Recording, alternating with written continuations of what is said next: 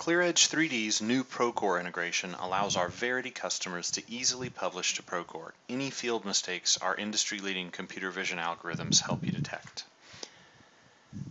Once you've reviewed the results of our automated comparison of laser scans of the installed work against your coordination models, Verity users can go to our Publish tab, select Procore, log in, select a company and project they have access to, and then publish non-conforming field issues as either observations or as new coordination issues.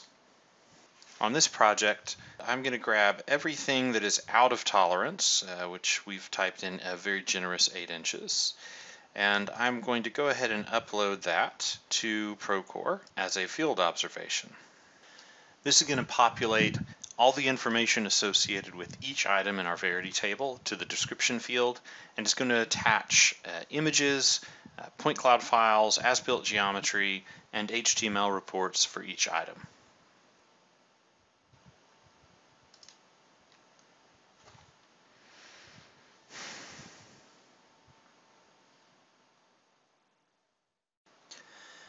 In addition, I'm going to go ahead and grab the rest of the passing items and go ahead and upload anything above uh, a two inch variation and I'm going to go ahead and dump those out as coordination issues.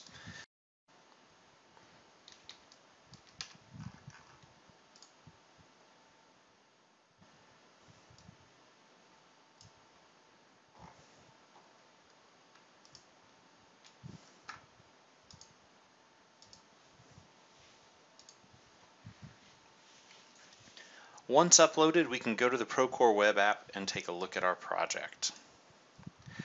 You can see here we've got a bunch of observations and coordination issues that have been uploaded. If I go to the toolbox, I can go take a look at our observations first. You'll see all those observations that we just created have been uploaded. They have attachments associated with them. If we dig in to take a look, uh, you'll see that we've filled out uh, some of the basic information and it's ready for you to take over, edit it, and uh, assign it to people, uh, change the status, etc. We can also go take a look at the coordination issues functionality, which is new to Procore. Uh, likewise in here, uh, you'll see that these issues have been uploaded and you can now take these and filter that back into your coordination process so that you can make sure that none of these variances are actually going to cause uh, any significant issues for uh, trades that have not yet installed their work in the space. If you have any other questions, uh, please visit the ClearEdge 3D Verity page. And learn more about Verity there. Um, you can request trials, you can get support through our website.